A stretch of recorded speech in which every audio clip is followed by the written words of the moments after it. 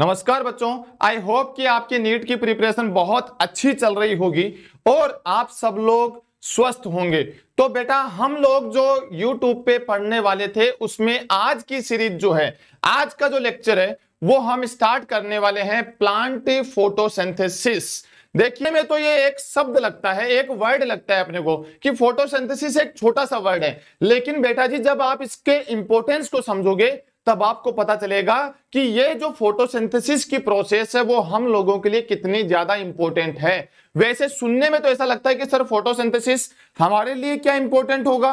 क्योंकि हम तो फोटोसिंथेसिस करते ही नहीं है। बात तो ठीक है बिल्कुल, लेकिन अगर फोटोसिंथेसिस नहीं हो तो क्या हम लोगों का एग्जिस्टेंस इस नेचर में हो सकता है क्या? क्या हमारा नेचर सस्टेन्ड कर सकता है क्या? क्या ये जो डाइवर्सिटी है हमारे नेचर में जितनी भी, वो डाइवर्सिटी मेंटेन हो सकती है क्या? इन सबका आंसर जो होगा, वो आज हम इस चैप्टर में ढूँढने की कोशिश करेंगे कि फोटोसिंथेसिस का एक्चुअल इंपॉर्टेंस क्या है हम लोगों के लिए। तो चलिए हम स्टार्ट करते हैं कि फोटोसिंथेसिस जो है, उसमें सबसे पहले हम शुरुआत करें कि फोटोसिंथेसिस का जो इंट्रोडक्शन है, कि जैसे मैंने आपको अभी कहा कि फोटोसिंथेसिस ना केवल ग्रीन प्लांट्स के लिए ना केवल ग्रीन प्लांट्स के लिए, बाकी इस अर्थ पर रहने वाले हर ऑर्गेनिज्म के लिए एक बहुत इंपॉर्टेंट प्रोसेस होती है। सर, बहुत इंपॉर्टेंट कैसे?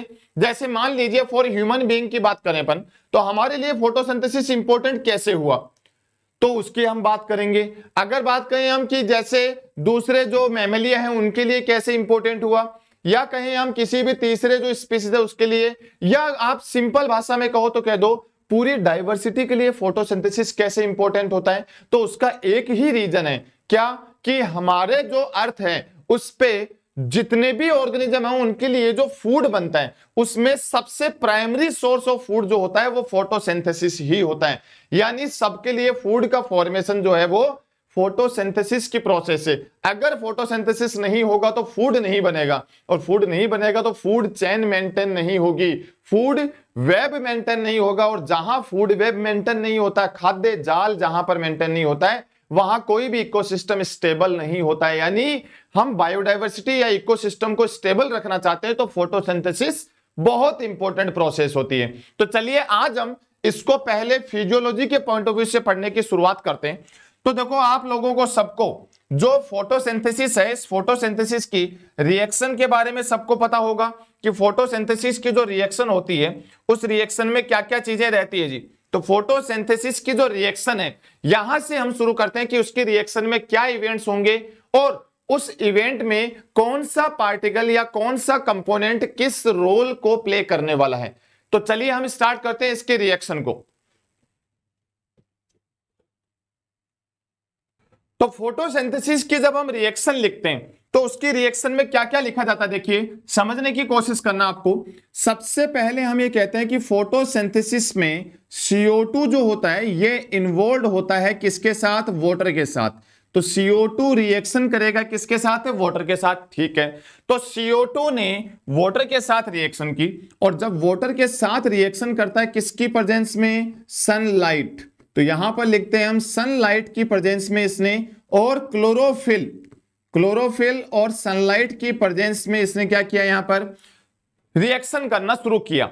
CO2 और H2O ने। तो क्या बनाएगा? तो हम डायरेक्ट क्या लिख देते हैं कि ये फ़ूड बना देता है। लेकिन नहीं, आपको समझना यहाँ पर ये पड़ेगा कि फ़ूड बनाएगा तो क्यों बनाएगा और कौन बनाएगा? पहले ये समझिए देखो कि जब फोटोसिंथेसिस की रिएक्शन होती है तो उसमें जो वाटर का मॉलिक्यूल यूज़ होता है ना, ये वाटर का मॉलिक्यूल यहाँ पर टूट जाता है बेटा।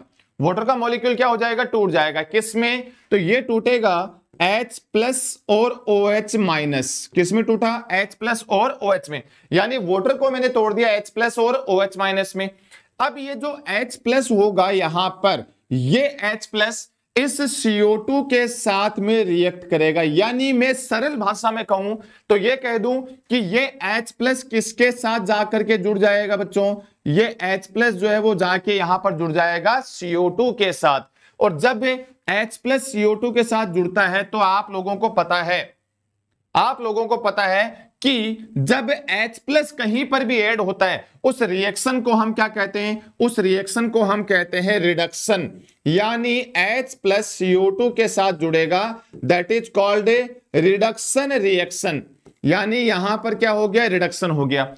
अब CO2 के साथ H प्लस जुड़ा तो इसकी वजह से क्या बनने वाला है? इसकी वजह से यहाँ पर बन जाएगा C6H12O6 यानी फ़ूड या कह दो ग्लूकोज तो ग्लूकोज का जो फॉर्मेशन हुआ, समझे आप? ग्लूकोज का जो फॉर्मेशन हुआ, वो किस प्रोसेस से हुआ? तो हम कह सकते हैं रिडक्शन रिएक्शन से हुआ। दूसरा इंपॉर्टेंट चीज़ कि ग्लूकोज के फॉर्मेशन में कौन कौन इन्वॉल्व हुआ? तो हम ये कह सकते हैं कि ग्लूकोज के फॉर्मेशन के लिए सबसे ज़्यादा जिम्मेदार होता है वो CO2 होता है। ठीक है? और वाटर जो है, इसमें से सिर्फ़ H प्लस आयन ही फ़ूड बनाने में काम आते हैं। तो वाटर में से सिर्फ़ H प्लस काम आएगा और CO2 पूरा का पूरा ऐड होकर के ग्लूकोज का फॉर्मेशन कर देता है। That process is called reduction reaction तो फ़ूड बनता है रिडक्शन से, ठीक? और ये जो फ़ूड बनाने वाली प्रोसेस होती है, इसी को ही हम क्या कह देते हैं? Dark reaction that is called dark reaction तो इसी को क्या बोलेंगे? डार्क रिएक्शन किस जगह पर होती है ये? तो ये होती है स्ट्रोमा में। तो ये देखिए, यहाँ पर बहुत सारी चीज़ें मैंने एक साथ बता दी आपको। क्या क्या कि जब फोटोसिंथेसिस होगा तो फ़ूड जो बनता है, उस फ़ूड को बनाने के लिए सबसे ज़्यादा जिम्मेदार CO2 होता है और वाटर में से सिर्फ़ H प्लस जिम्मेदार होगा। ठीक? ये H प्लस इसके साथ जुड़ेगा तो H प्लस का जुड़ना reduction that means reduction reaction हुई। और रिडक्शन होते ही क्या बन जाएगा? फ़ूड यानी फ़ूड बनता है रिडक्शन प्रोसेस से and that process is called dark reaction जो होती है स्ट्रोमा में। ठीक है सर, यहाँ तक की बात समझ में आई। तो सर, अब ये जो OH बच गया, इसका क्या होने वाला है? तो ये जो OH बच जाता है यहाँ पर वाटर में से ओ OH बचा सिर्फ़, ये OH जो है, ये होगा ऑक्सीडाइज यानी इसका क्या होने वाला है? ऑक्सीडेशन। OH का हो जाएगा ऑक्सीडेशन। और ये जो ऑक्सीडेशन की जो रिएक्शन होती है, इसी को हम कह देते हैं लाइट रिएक्शन इसी को क्या बोलेंगे? लाइट रिएक्शन और लाइट रिएक्शन कहाँ पर होती है? ग्रेना वाले पोर्शन में होती है। तो लाइट रिएक्शन होगी, या कह दो ऑक्सीडेशन होगा, कहाँ पर? ग्रेना में। और उसी ऑक्सीडेशन की प्रोसेस के थ्रू क्या बन जाएगा यहाँ पर? ऑक्सीजन बन जाएगा। बहुत महत्वपूर्ण चीज़, बहुत इंपॉर्टेंट चीज़ क्या हुई कि फोटोसिंथेसिस में फोटोसिंथेसिस के टाइम पर जो ऑक्सीजन रिलीज़ होती है, देखिए ध्यान से फोटोसिंथेसिस में जो ऑक्सीजन यहाँ पर रिलीज़ हुई, ये ऑक्सीजन कहाँ से आई जी?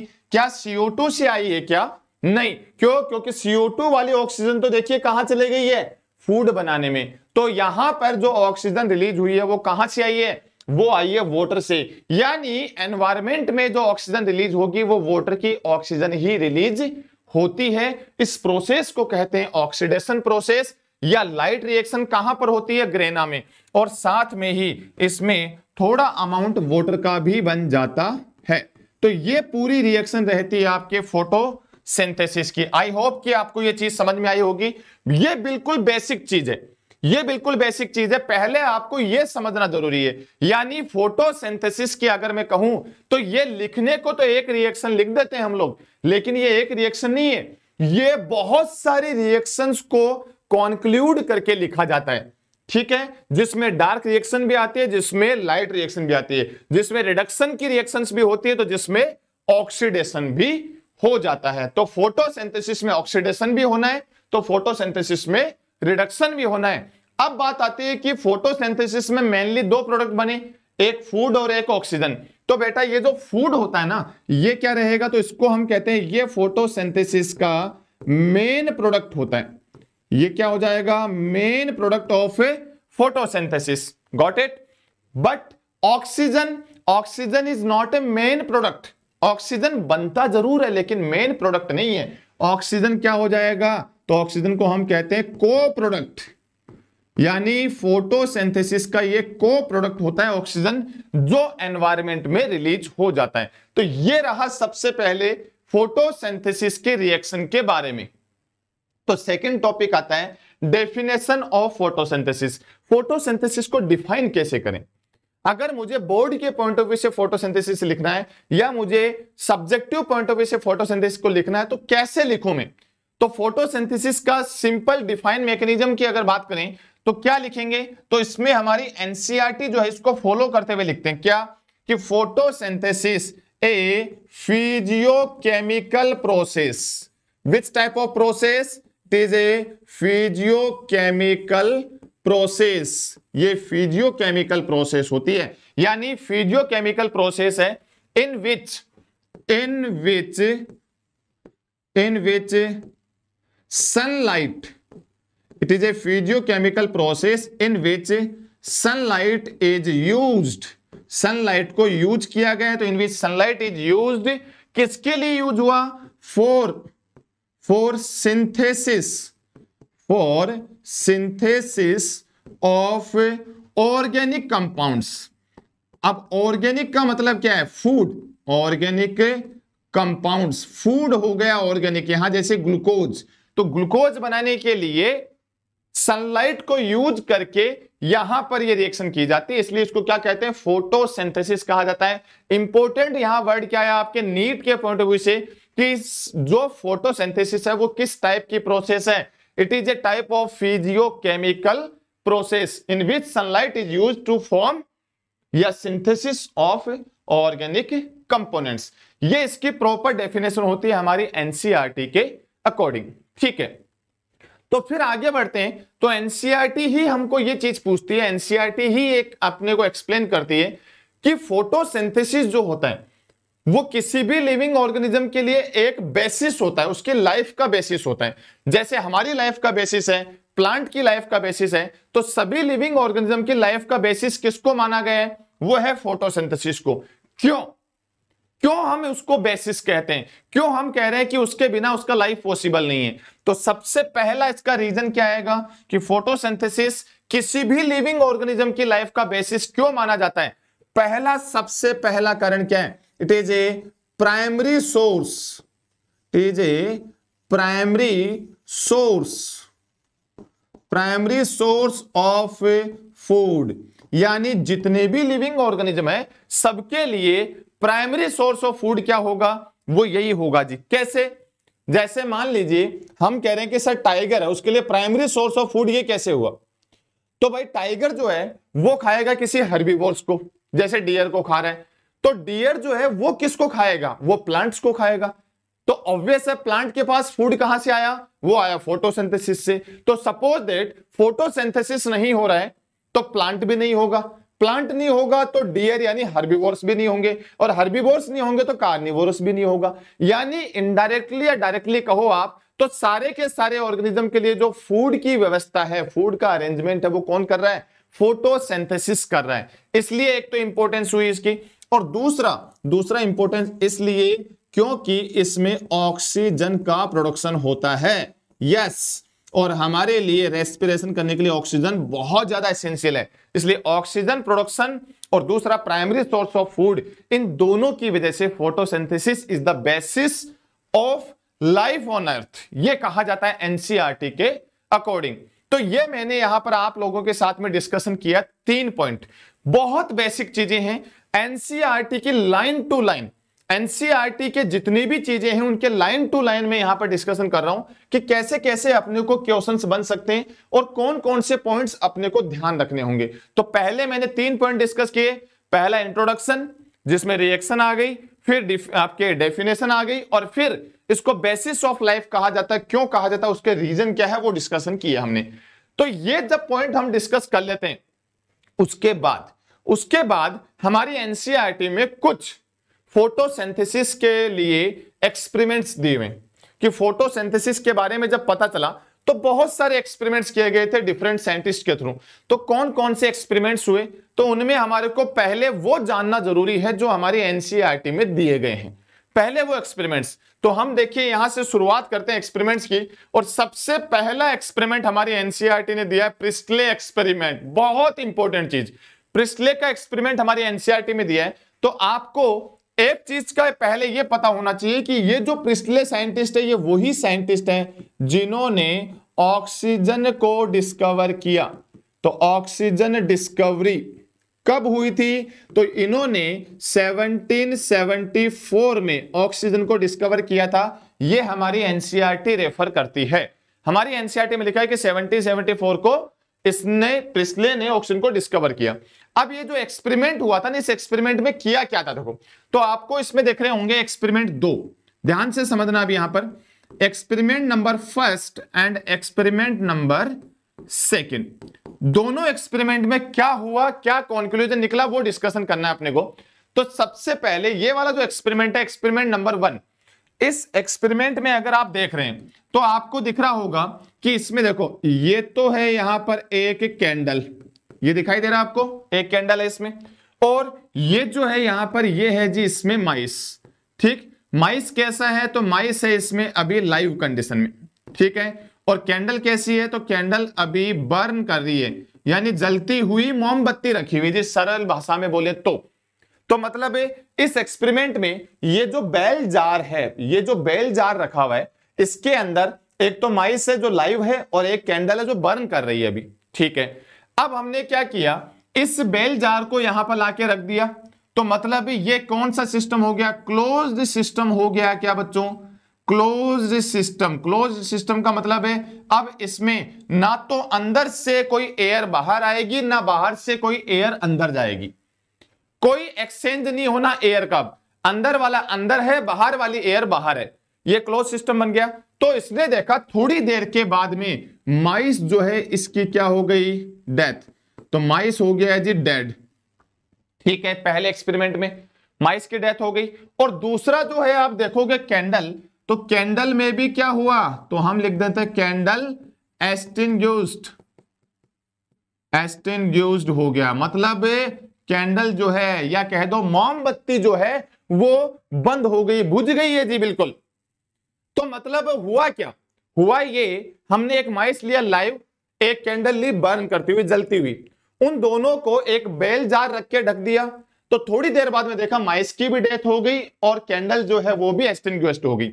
यानी वो भी यहाँ पर जलना जो है इसका वो बंद हो गया। ठीक है, ये था एक्सपेरिमेंट नंबर वन। अब दूसरा एक्सपेरिमेंट आया। दूसरे एक्सपेरिमेंट में किया क्या इसने? इसने दूसरे एक्सपेरिमेंट में यह किया कि इसने माइस लिया, देखो, माइस है इसमें। माइस कैसा है? लाइव है। ठीक है। ये कैंडल है तो ये हो जाएगा आपके बर्न कैंडल। कैंडल भी बर्न करते हुए रखी है इसने, बहुत बढ़िया। लेकिन साथ में एक एक्स्ट्रा चीज़ रख दी इसने, क्या? प्लांट। और प्लांट भी कौन सा? Mint plant. कौन सा प्लांट था? मिंट प्लांट इसने रख दिया। अब इसने इन तीनों को कौन कौन से? Mint plant. एक बर्न करती हुई कैंडल, एक लाइव माइस। इन तीनों को बेल जार के अंदर रख दिया, यानी क्लोज्ड सिस्टम सेम वही है क्लोज सिस्टम यानी बेल जार के अंदर बंद कर दिया, लेकिन थोड़ी देर के बाद में अगर इसने देखा तो इसको बड़ा सरप्राइज़ हुआ। क्या?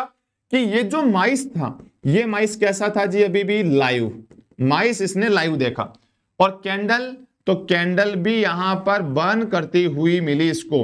तो इसको सरप्राइज़ हुआ कि यार पहले वाले में माइस डेड हो गया था कैंडल जो है वो एक्सटिंग्विश्ड हो गई थी, लेकिन दूसरे एक्सपेरिमेंट में माइस लाइव रहा और कैंडल बर्न कर रही है अभी भी। तो अब ये अपना कंक्लूजन देता है। क्या कॉन्क्लूजन देता है? तो कॉन्क्लूजन देखिए, इसके एक्सपेरिमेंट का क्या है? एक्सपेरिमेंट समझ में आ गया आपको? फ़र्स्ट और सेकंड दोनों अलग अलग अब इसके एक्सपेरिमेंट का कॉन्क्लूजन अगर हम लिखें तो क्या आएगा? तो प्रिस्ले बहुत साधारण भाषा में, बहुत सिंपल भाषा में समझा रहा देखो, क्या? वो ये समझा रहा है कि पहले एक्सपेरिमेंट में माइस की डेथ क्यों हो गई?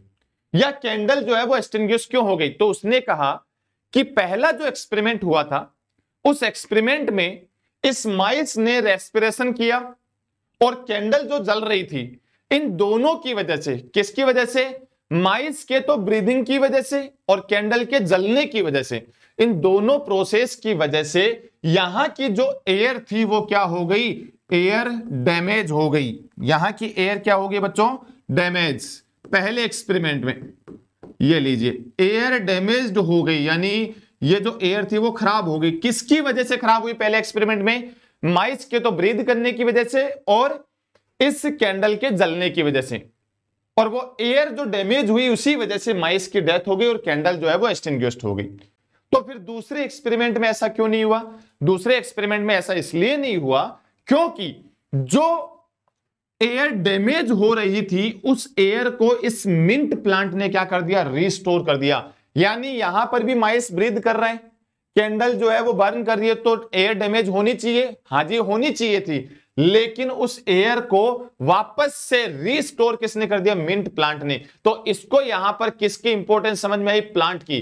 कि ये दोनों अगर यहाँ ज़िंदा है माइस ज़िंदा है, और ये कैंडल बर्न कर रही है तो वो क्यों कर रही है? क्योंकि एयर डैमेज नहीं हुई है। और एयर डैमेज क्यों नहीं हुई है? क्योंकि यहाँ मिंट प्लांट है। तो यहाँ इसका कॉन्क्लूजन हम क्या लिख सकते हैं? वो ये लिख सकते हैं कि plants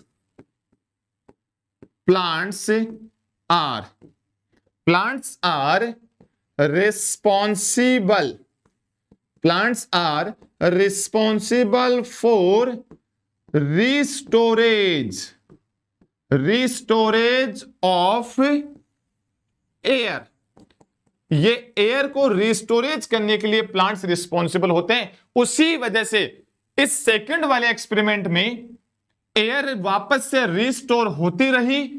तो डैमेज उसका कम होता है और इसी वजह से माइस लाइव रहा और कैंडल जो है वो बर्न वहाँ पर कंटिन्यू रही। ये पहला एक्सपेरिमेंट था आपके प्रिस्टले का। तो पहला एक्सपेरिमेंट में आपको कॉन्क्लूजन समझ में आ गया क्या था? पहले एक्सपेरिमेंट की बात कर ली, फिर कॉन्क्लूजन लिख दिया और कॉन्क्लूजन यही है कि प्लांट्स जो है वो रिस्पॉन्सिबल होते हैं रीस्टोरेज ऑफ़ एयर के लिए। ये फ़र्स्ट एक्सपेरिमेंट है। तो फिर सेकेंड एक्सपेरिमेंट क्या आता है? वो होता है Ingenhousz experiment second experiment हमारे एनसीआरटी में दिया है इंगेन हाउस एक्सपेरिमेंट और इंगेन हाउस एक्सपेरिमेंट जो है, ये सबसे पहले हम बात करें कि ये जो साइंटिस्ट है, इन्होंने जो एक्सपेरिमेंट किया वो कौन से प्लांट्स पर? तो यहाँ लिखते हैं अपन एक्सपेरिमेंटल प्लांट एक्सपेरिमेंटल प्लांट कौन सा है बच्चों इसमें? तो एक्सपेरिमेंटल प्लांट जो था इसका वो थे एक्वेटिक प्लांट्स कौन से प्लांट्स पे एक्सपेरिमेंट किया? एक्वेटिक प्लांट्स पर इसने एक्सपेरिमेंट किया था। ठीक है? अब क्या किया? इसकी दो सिचुएशन थी। सिचुएशन क्या है? देखो, आप ऐसे समझिए कि पहली जो केस नंबर वन है, दो दो सिचुएशन लिख रहा हूँ मैं। केस नंबर वन और केस नंबर टू। दो सिचुएशन से केस नंबर वन जो है, इसमें है लाइट प्रेजेंट। ठीक है? तो केस नंबर वन में तो हो जाएगी लाइट प्रेजेंट और केस नंबर टू जो है, इसमें लाइट हो जाएगी बच्चों एबसेंट मतलब या तो लाइट प्रेजेंट होगी या लाइट एबसेंट है। अब ये जो एक्वेटिक प्लांट है, ये क्या करने वाला देखो। ये यहाँ पर वोटर हो गया, ठीक है? समझना आप एक्सपेरिमेंट को? ये वाटर है और इस वाटर के अंदर हम कह रहे हैं कि ये एक्वेटिक प्लांट यहाँ पर प्रेजेंट है, इस टाइप से। ठीक है, ये एक्वेटिक प्लांट है। यहाँ पर भी ये अपने पास वाटर है ठीक? और वाटर में ये एक्वेटिक प्लांट हमारे पास प्रेजेंट है। अब देखिए इनगेन हाउस क्या कहते हैं? इनगेन हाउस ये कहते हैं कि अगर एक्वेटिक प्लांट लाइट में प्रेजेंट है एक्वेटिक प्लांट क्या करेगा? लाइट में अगर प्रेजेंट होगा तो इससे कुछ गैस रिलीज़ होती है। इससे क्या होगी? कुछ गैस रिलीज़ होगी। और बेटा, ये प्लांट एक्वेटिक है, यानी पानी में है। पानी में है तो जब गैस रिलीज़ होगी तो वो गैस यहाँ पर किस फॉर्म में रिलीज़ होगी? बबल्स की फॉर्म में आएगी क्या? यस। yes. तो इसका मतलब है, यहाँ पर बबल्स फॉर्मेशन क्या हो जाएगा? प्रेजेंट। तो बबल्स फॉर्मेशन क्या रहा इसमें? प्रेजेंट हुआ। बात समझ में आई या नहीं आई आपको? क्या कहा इसने कि अगर एक्वेटिक प्लांट लाइट की प्रेजेंस में रहेगा तो उससे कुछ गैस रिलीज़ होती है और वो गैस बबल्स की फॉर्म में बाहर निकलती है। लेकिन अगर एक्वेटिक प्लांट लाइट अपसेंट हो तो इससे गैस रिलीज़ नहीं होगी, और गैस रिलीज़ नहीं होगी तो बबल्स का फॉर्मेशन नहीं होगा। बबल्स फॉर्मेशन अपसेंट हो गया। तो इससे एक चीज़ ये समझ में आ रही है कि ये जो बबल्स निकल रहे हैं या जो गैस रिलीज़ हो रही है, वो गैस रिलीज़ किसकी वजह से हो रही है? लाइट की वजह से। अगर लाइट प्रेजेंट है तो बबल्स आएँगे। लाइट नहीं है तो बबल्स नहीं आते। मतलब यहाँ से थोड़ा बहुत इंपॉर्टेंस पता चला किसका? लाइट का। कि अगर लाइट होगी तो गैस रिलीज़ होती है लाइट नहीं है तो गैस रिलीज़ नहीं होती है। ये एक्सपेरिमेंट था आपका इंडियन हाउस एक्सपेरिमेंट जो एक्वेटिक प्लांट्स पे किया गया था और इससे इंपोर्टेंस पता चली थी लाइट की कि उसकी प्रेजेंस की वजह से गैस रिलीज़ होती है बबल्स का फॉर्मेशन होना शुरू हो जाता है। ये आपका सेकेंड एक्सपेरिमेंट है। फिर आता है von Sachs experiment von Sachs experiment क्या है? बहुत सिंपल है। वॉन सेक क्या कहते हैं?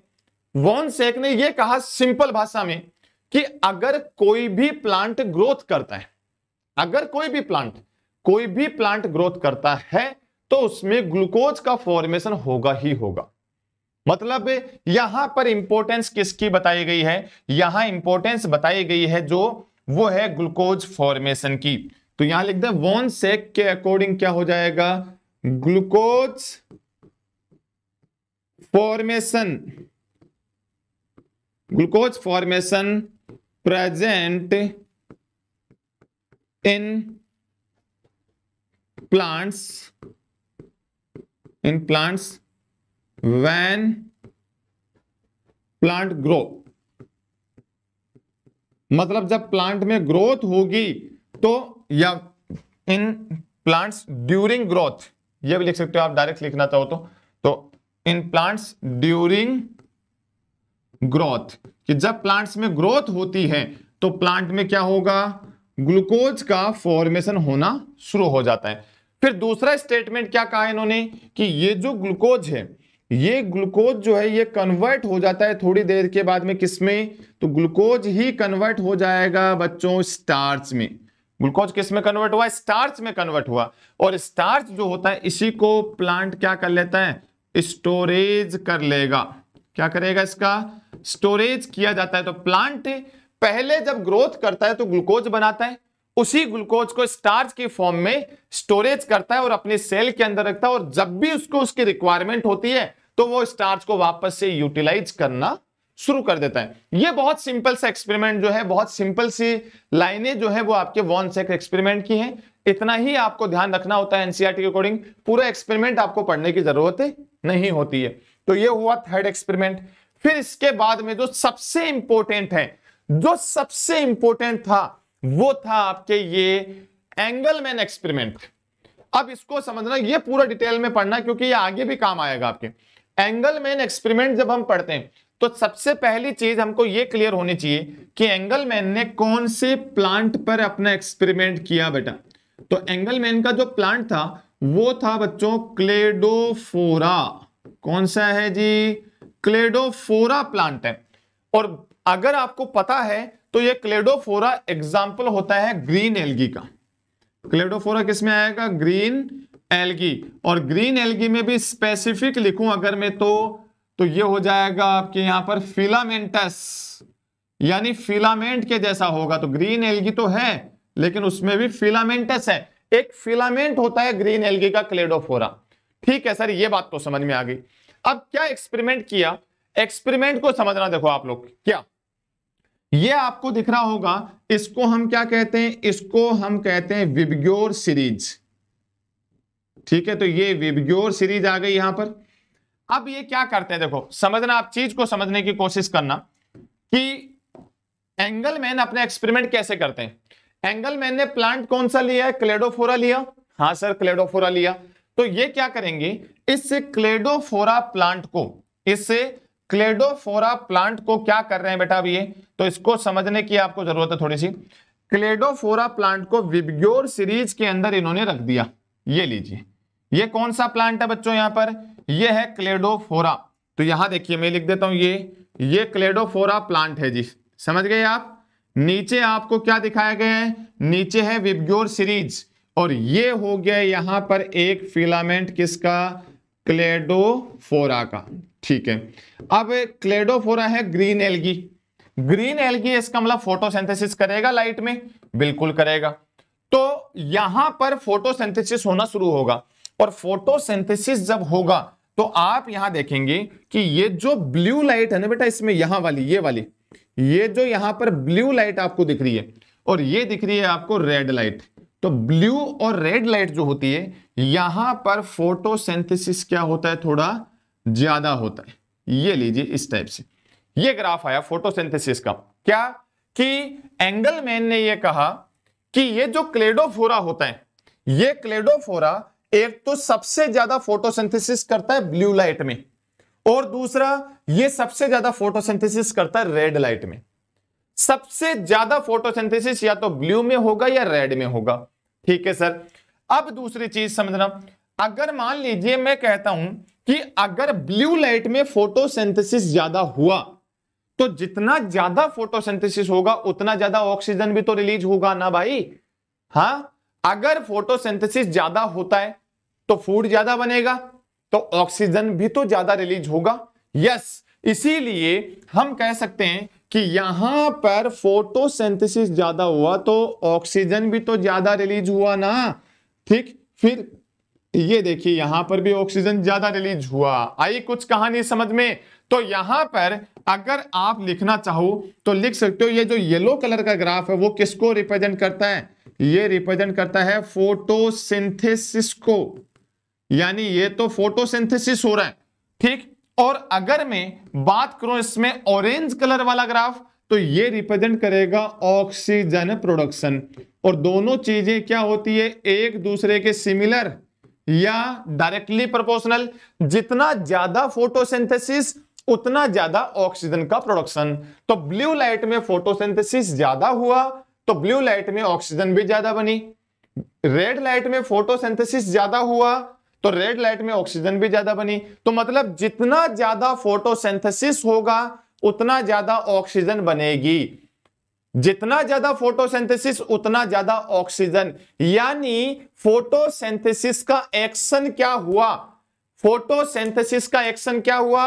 ज़्यादा फोटोसिंथेसिस ज़्यादा ऑक्सीजन कम फोटोसिंथेसिस कम ऑक्सीजन इसीलिए जब फोटोसिंथेसिस को मैं ऑक्सीजन के साथ कंपेयर करता हूँ, इन दोनों ग्राफ को मिला के क्या कहा जाता है? तो इनको मिला के कहा जाता है एक्शन स्पेक्ट्रा। क्या बोला जाता है इनको? एक्शन स्पेक्ट्रा कहा जाता है। क्यों? क्योंकि एक्शन स्पेक्ट्रा क्या रिप्रेजेंट करता है? एक्शन स्पेक्ट्रा रिप्रेजेंट करता है कि जहाँ फोटोसिंथेसिस ज़्यादा है, वहाँ पर ऑक्सीजन भी ज़्यादा है। जहाँ फोटोसिंथेसिस कम है, वहाँ ऑक्सीजन भी कम होगा। इन दोनों को ही कंपैरिजन में हम क्या बोलते हैं? एक्शन स्पेक्ट्रा कहा जाता है। सर, ये बात तो ठीक है, आपने ग्राफ बना दिया, हमको समझ में भी आ गया मतलब हमने देख लिया। लेकिन ये पता कैसे चला कि इसी जगह ऑक्सीजन ज़्यादा है? ये कैसे पता चला? इसी जगह ऑक्सीजन ज़्यादा, ये कैसे पता चला? या यहाँ पर ऑक्सीजन कम है, ये कैसे पता चला? तो इसका पता कैसे लगाया? एंगल मैन ने वो समझना। ब्लू लाइट में फोटोसिंथेसिस ज़्यादा हो रहा है, इसका कैसे पता लगाया? या रेड लाइट में फोटोसिंथेसिस ज़्यादा हो रहा है, इसका कैसे पता लगाया? तो इसका पता लगाने के लिए उन्होंने एक बैक्टीरिया यूज़ लिया बेटा। क्या यूज़ किया उन्होंने? बैक्टीरिया और बैक्टीरिया कौन सा यूज़ हुआ जी? तो बैक्टीरिया इन्होंने यूज़ लिया था एरोबिक बैक्टीरिया कौन सा? एरोबिक बैक्टीरिया और एरोबिक बैक्टीरिया का मतलब जो अपना रेस्पिरेशन ऑक्सीजन की प्रेजेंस में करता है। तो भाई, जो एरोबिक बैक्टीरिया होगा, उसको रेस्पिरेशन के लिए ऑक्सीजन चाहिए। तो वो वहीं तो ज़्यादा होगा जहाँ ऑक्सीजन होगी। ऑब्वियस ये चीज़ तो। तो एरोबिक बैक्टीरिया को अगर हम देखें तो देखो, ये जो व्हाइट कलर आपको दिख रहे हैं, ये क्या है? एरोबिक बैक्टीरिया तो ये सबसे ज़्यादा एरोबिक बैक्टीरिया कहाँ दिख रहे हैं? ब्लू लाइट के आसपास इकट्ठे हो जाते हैं पूरे के पूरे बैक्टीरिया क्यों? क्योंकि ब्लू लाइट जो होती है, यहाँ फोटोसिंथेसिस ज़्यादा होता है और फोटोसिंथेसिस ज़्यादा होता है, इसीलिए यहाँ पर ऑक्सीजन ज़्यादा बनती है और एरोबिक बैक्टीरिया को रेस्पिरेशन करने के लिए ऑक्सीजन की ज़रूरत होती है। रेड लाइट के आसपास देखोगे तो यहाँ पर भी आपको बैक्टीरिया जो है वो ज़्यादा ही दिखाई देंगे इसके आसपास। क्यों? क्योंकि यहाँ फोटोसिंथेसिस ज़्यादा है तो फोटोसिंथेसिस ज़्यादा होगा दैट मींस यहाँ पर ऑक्सीजन भी ज़्यादा होगा और ऑक्सीजन ज़्यादा होगा तो एरोबिक बैक्टीरिया भी ज़्यादा हो जाएँगे। एरोबिक बैक्टीरिया यहाँ पर ज़्यादा है। तो इससे इनको पता चला कि ब्लू लाइट में और रेड लाइट जो होता है, इसमें फोटोसिंथेसिस मैक्सिमम होता है और बाकी जगह फोटोसिंथेसिस का अमाउंट जो है वो थोड़ा कम रहता है। आई थिंक आपको ये समझ में आ गया होगा। तो एंगल मैन का एक्सपेरिमेंट क्लेडोफोरा ग्रीन एलगी पे हुआ। ठीक? फिर दूसरा कि इन्होंने विब्योर सीरीज़ में जब देखा तो उनको ब्लू लाइट और रेड लाइट में सबसे ज़्यादा फोटोसिंथेसिस मिला। जहाँ फोटोसिंथेसिस ज़्यादा हुआ, वहीं पर ही ऑक्सीजन ज़्यादा रिलीज़ हुई। इन दोनों के ग्राफ को क्या कहते हैं? Action spectra. तो फोटोसिंथेसिस का पहला एक्शन स्पेक्ट्रा किसने प्रपोज किया? एंगलमैन ने किया। ठीक? और इसका पता कैसे लगाया कि वहीं ऑक्सीजन ज़्यादा है तो इसका पता लगाया गया था, वो था एरोबिक बैक्टीरिया के थ्रू, क्योंकि ब्लू लाइट और रेड लाइट में एरोबिक बैक्टीरिया जो है, इनकी कंसेंट्रेशन ज़्यादा थी। उससे प्रूव हो गया कि यहाँ पर फोटोसिंथेसिस जो है, वो कंपेरेटिवली ज़्यादा होता है। ये आपके सबसे इंपॉर्टेंट एक्सपेरिमेंट है एंगलमैन का एक्सपेरिमेंट ये हुआ कंप्लीट नेक्स्ट नेक्स्ट आता है नेल एक्सपेरिमेंट अब ये जो नेल जो एक्सपेरिमेंट है, ये क्या रिप्रेजेंट करता है? तो देखो नेल जो है, इसने जो एक्सपेरिमेंट किया, ये एक्सपेरिमेंट में क्या प्रूव करना चाह रहे थे? तो नेल जो है अपने एक्सपेरिमेंट में ये प्रूव करना चाह रहे थे कि oxygen released from oxygen released from water यानी CO2 और वाटर जो है ना, उनमें से कहाँ से ऑक्सीजन रिलीज़ होती है? वो होती है वाटर से। ये चीज़ इन्होंने बता दी थी सबसे पहले। ये सबसे पहले इन्होंने बताया कि ऑक्सीजन जो रिलीज़ होती है वो कहाँ से आती है? वाटर से आती है, ना कि CO2 से। इन्होंने क्या बताया? इन्होंने कहा कि देखिए केस नंबर वन देखिए। इन्होंने कहा कि जो बैक्टीरिया होते हैं, जैसे पर्पल और ग्रीन सल्फ़र बैक्टीरिया कौन कौन से बैक्टीरिया की बात कर रहे हैं अपन? Purple and green photosynthetic bacteria photosynthetic bacteria पर इन्होंने एक्सपेरिमेंट किया था। और आप लोगों को थोड़ा बहुत आइडिया होगा कि ये जो ग्रीन और पर्पल सल्फ़र बैक्टीरिया जो होते हैं ये फोटोसिंथेसिस करते हैं। तो इन्होंने क्या कहा? देखो, नेल ने। नेल कह रहा है कि ये जो बैक्टीरिया है ना, ये एक तो CO2 को यूज़ लेते हैं, ठीक? अब देखो, आपको मैंने जो रिएक्शन बताई थी ना, वो अब आपको अब समझ में आएगी। इन्होंने एक तो CO2 यूज़ लिया और दूसरा यहाँ पर एच H2A यूज़ लिया। H2O नहीं है, समझना आप चीज़ को। इन्होंने क्या किया? CO2 और H2A यूज़ किया है। H2A मतलब H2O के अलावा कोई दूसरा है। ठीक है तो या H2S यूज़ कर सकते हो आप, करना चाहो तो H2S कर लो चाहे डायरेक्ट H2S यूज़ किया, ठीक है। अब आपको पता है इसमें से H प्लस निकलेंगे। ये आपने पढ़ा था अभी रिएक्शन में, इसमें से H प्लस निकला। तो H प्लस इसमें से निकला तो मैं यहाँ पर इसको क्या कह सकता हूँ? इसको मैं H डोनर कह दूँ। क्या बच्चों, ये बताओ। इसको एच डोनर कह सकते हैं क्या? हाँ या ना? क्लियर है ये बात? कि ये एच डोनर की तरह बिहेव कौन कर रहा है? एच टू एस तो एच डोनर यहाँ से एच प्लस को रिलीज़ करेगा। इस एच को एक्सेप्ट कौन करेगा? तो एच को एक्सेप्ट करेगा सीओ टू और जब ये एच अगर सीओ टू के साथ रिएक्ट करता है, उस रिएक्शन को क्या कहेंगे हम? उसको कहेंगे रिडक्शन तो अब मुझे आप ये बताइए, जो एनसीआरटी की लैंग्वेज है, उसको समझिए अब। क्या कहता है एनसीआरटी एनसीआरटी कहता है कि जो पर्पल बैक्टीरिया होते हैं, उनमें H2S जो है, ये ऑक्सीडाइज एजेंट होता है। यानी इसका तो ऑक्सीडेशन होगा। क्यों? क्योंकि H2S में से H निकला है।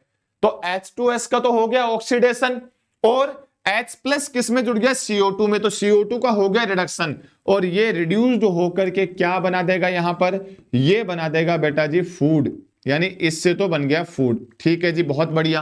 अब क्या बचा हमारे पास? अब हमारे पास बचा यहाँ पर सल्फ़र तो इससे क्या होगा? इस सल्फ़र के थ्रू ऑक्सीडेशन होगा सल्फ़र का। क्योंकि वो रिडक्शन हो गया तो ये ऑक्सीडेशन और सल्फ़र का जब ऑक्सीडेशन होगा तो इससे क्या होगा? कोई ना कोई सल्फ़र का ऑक्साइड जो है, वो यहाँ से रिलीज़ हो जाएगा बाहर। यानी सिंपल कहानी क्या हुई? ऑक्सीजन नहीं बनी। ऑक्सीजन नहीं बनी। लेकिन ग्रीन प्लांट में क्या होगा, समझना आप। ग्रीन प्लांट्स में क्या होता है? बैक्टीरिया की कंडीशन समझ में आ गई? ग्रीन प्लांट में क्या होता है? तो ग्रीन प्लांट में CO2 आता है और यहाँ पर हाइड्रोजन डोनर, प्रोटोन डोनर कौन आ जाता है बच्चों? H2O तो H2O किसकी तरह काम कर रहा है? H2O काम कर रहा है H प्लस और OH माइनस यानी मैं कह दूँ, यहाँ पर वोटर किसकी तरह काम कर रहा है? वोटर यहाँ प्रोटोन डोनर है या नहीं है बताइए? तो वोटर का क्या हुआ? समझ पा रहे हैं वोटर में से H प्लस निकला है। यानी ये वोट यहाँ पर प्रोटोन डोनर किसके साथ जाके जुड़ेगा? CO2 यानी ये दोनों आपस में क्या हो जाएँगे? कंबाइंड दोनों कंबाइंड हुए। रिएक्शन क्या हुई? रिडक्शन यानी CO2 का रिडक्शन होता है बच्चों फोटोसिंथेसिस में। और CO2 रिड्यूस्ड होकर के किसका फॉर्मेशन कर देगी? फ़ूड का। तो CO2 के रिडक्शन से तो बन गया फ़ूड बहुत बढ़िया जी। तो अब क्या बचा हमारे पास? अब हमारे पास बचा OH और ये जो OH है, इसका होगा अब ऑक्सीडेशन और OH जो है, वो ऑक्सीडेशन करके किसमें बदल जाता है? तो इससे O2 रिलीज़ हो जाती है। तो इससे प्रूव हो गया कि जो ऑक्सीजन है, वो वाटर से ही रिलीज़ होती है और ग्रीन प्लांट ऑक्सीजन को रिलीज़ करते हैं। ग्रीन प्लांट ऑक्सीजन को रिलीज़ करेंगे बैक्टीरिया ऑक्सीजन को रिलीज़ नहीं करते। क्यों? क्योंकि ग्रीन प्लांट में प्रोटॉन डोनर होता है वाटर इसलिए यहाँ से ऑक्सीजन रिलीज़ होती है। और बैक्टीरिया में प्रोटॉन डोनर वाटर के अलावा H2S आता है। इसलिए वहाँ से ऑक्सीजन रिलीज़ नहीं होती। ये चीज़ नेल ने अपने एक्सपेरिमेंट में बता दिया था। लेकिन उसके बाद में, थोड़े सालों के बाद में, एक साइंटिस्ट आए थे रुबेन। और रुबेन ने एक्सपेरिमेंट करके उन्होंने आइसोटोप यूज़ लिया था और रेडियो एक्टिव आइसोटोप यूज़ लेकर के और इस चीज़ को रेडियो एक्टिवनेस के साथ में प्रूव किया था कि ऑक्सीजन जो है वो वाटर वाली ऑक्सीजन ही आती है। ठीक है? ओ एटीन को वहाँ यूज़ लिया आइसोटोप को। और उसके बेसिस पे उन्होंने प्रूव कर दिया। तो पहली बार बताया आपके नेल ने ही था। पहली बार नेल ने ही बताया था, लेकिन रेडियो एक्टिव मेथड से उसको प्रूफ किसने किया था? वो था रुबेन एटोल ठीक है? तो ये आपके नेल का एक्सपेरिमेंट हुआ। नेल के एक्सपेरिमेंट के बाद में आता है कि CO2 is required for photosynthesis कि CO2 जो है, ये फोटोसिंथेसिस के लिए ज़रूरी है। हाँ जी, बिल्कुल ज़रूरी है। तो इसको एक्सपेरिमेंट से समझते हैं, इसको कहते हैं हाफ़ लीफ एक्सपेरिमेंट या मोल एक्सपेरिमेंट कहा जाता है। हाफ़ लीफ एक्सपेरिमेंट कह दो या मोल एक्सपेरिमेंट कह दो, ये एक्सपेरिमेंट क्या एक्सप्लेन करता है? देखो, इस एक्सपेरिमेंट को जब हम समझने की कोशिश करते हैं तो जैसे ये प्लांट है और इस प्लांट में ये एक लीफ है, समझना आप ध्यान से। ये प्लांट ये इस प्लांट की लीफ हुई। अब इस लीफ में हमने क्या किया? इस लीफ का कुछ पोर्शन जो है, वो तो हम ओपन रखेंगे, यानी बाहर रखेंगे। कुछ पोर्शन तो ठीक? और कुछ पोर्शन जो है, वो हम यहाँ पर एक जार के अंदर बंद कर देंगे बच्चों। कुछ पोर्शन को क्या कर दिया जाएगा? एक जार के अंदर बंद कर दिया जाएगा। तो जैसे यहाँ पर आप देखोगे तो ये इतना पोर्शन मैंने जार के अंदर क्या कर दिया? बंद। ठीक है? मतलब ये इसके लीफ के कितने पार्ट हो गए? दो। ये जो पार्ट है, इसको मैं कह दूँ लीफ का ये ओपन पार्ट है, जो बाहर की तरफ़ है। ठीक? और ये जो पार्ट है, इसको कह दें अपन क्लोज्ड पार्ट ये इसका क्लोज्ड पार्ट हो गया। तो मतलब लीफ के दो पार्ट हो गए। एक इस जार से बाहर का, एक जार के अंदर का। ठीक है? इस जार के अंदर मैंने क्या रख दिया? के ओ एच भी रखा। के ओ एच क्यों रखा जाता है? क्योंकि के ओ एच जो होता है ना, ये CO2 को एब्जॉर्ब करने के लिए जिम्मेदार माना जाता है। अगर पहली बात तो इस जार में CO2 आएगी ही नहीं। क्यों? क्योंकि ये क्लोज्ड सिस्टम है बंद है। लेकिन अगर मान लो फिर भी किसी कारण से CO2 आ जाए थोड़ी बहुत तो उसको कौन एब्जॉर्ब कर लेगा? आपके KOH एब्जॉर्ब कर लेगा। ठीक है? अब आपको यह पता चल गया कि इस लीफ के कितने पार्ट है? दो। एक इस जार के बाहर का, एक इस जार के अंदर का। दो पार्ट हो गए। अब आपको यह भी पता है कि जो बाहर वाला पार्ट है, इस पार्ट को CO2 यहाँ पर अवेलेबल होगी क्या? यस सीओ टू अवेलेबल होगी बाहर वाले पार्ट को तो। लेकिन अंदर वाले पार्ट को क्या सीओ टू अवेलेबल है क्या बच्चों? नहीं है। क्यों? क्योंकि पहली चीज़ तो ये क्या है? क्लोज्ड सिस्टम है। और अगर मान लो सीओ टू थोड़ी बहुत आ भी जाती है गलती से तो वो के ओ एच यहाँ पर उसको फ्री नहीं छोड़ेगा एब्जॉर्ब कर लेगा। तो अंदर वाले पोर्शन के पास सीओ टू नहीं है, बाहर वाले के पास सीओ टू है। जब बाहर वाले के पास CO2 है तो इसका मतलब है बाहर वाला पोर्शन जो है वो फोटोसिंथेसिस करेगा। यस अंदर वाला पोर्शन फोटोसिंथेसिस नहीं करेगा। बिल्कुल ठीक बात है, इसमें फोटोसिंथेसिस नहीं होगा। जब बाहर फोटोसिंथेसिस होगा तो ग्लूकोज बनेगा। यस ग्लूकोज का फॉर्मेशन होगा। यहाँ पर फोटोसिंथेसिस एबसेंट है तो ग्लूकोज भी नहीं बनेगा तो ग्लूकोज भी नहीं बना। और आपको पता है जब ग्लूकोज बनता है तो वो स्टार्च में बदल जाता है क्या? यस तो स्टार्च बाहर वाले पोर्शन में प्रेजेंट रहेगा। क्यों? क्योंकि फोटोसिंथेसिस हुआ, इसलिए ग्लूकोज बना, ग्लूकोज से स्टार्च में कन्वर्ट हो गया। तो बाहर वाले पोर्शन में क्या होगा? Starch present. और अंदर वाले पोर्शन में स्टार्च क्या हो जाएगा? अपसेंट अब सर आपको पता कैसे चलता है कि स्टार्च प्रेजेंट है या नहीं है? तो आपने केमिस्ट्री में पढ़ा होगा, आयोडीन टेस्ट होता है स्टार्च की प्रेजेंस या एब्सेंस के लिए।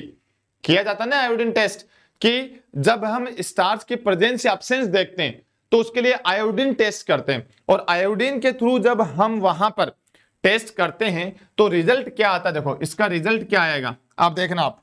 रिज़ल्ट को देखना आप, तब आपको थोड़ा सा आइडिया लगेगा कि एक्चुअली में हुआ क्या। थोड़ी देर बाद में जब हमने इसका रिज़ल्ट देखा तो रिज़ल्ट कुछ ऐसा आया कि जहाँ पर जो पोर्शन बाहर की तरफ़ था, जो पोर्शन बाहर की तरफ़ था, उसमें क्या रहा रिज़ल्ट और अंदर वाले में रिज़ल्ट क्या आएगा? देखो, दोनों को अलग अलग करके देखते हैं। ये अंदर वाला पोर्शन है, ये बाहर वाला है है ना? तो बाहर वाला पोर्शन है, इसमें स्टार्च है बच्चों? यस। तो बेटा, जिसमें स्टार्च होता है, उसका जब आयोडीन टेस्ट किया जाता है स्टार्च के लिए तो स्टार्च के लिए जब हम आयोडीन टेस्ट करते हैं तो आपको पता है बाहर वाले में स्टार्च है तो आयोडीन टेस्ट की वजह से ये क्या हो जाएगा? ये हो जाएगा ब्लू कलर का। बाहर वाला पोर्शन कैसा दिखाई दे रहा है अपने को? ब्लूस कलर में दिखाई देता है। ब्लू क्यों दिखाई देता है जी? क्योंकि स्टार्च का पॉजिटिव टेस्ट जो होता है आयोडीन के लिए, वो होता है ब्लू कलर में। और अंदर वाला पोर्शन जो होगा, ये अपने को दिखाई देगा येलोइस कलर में।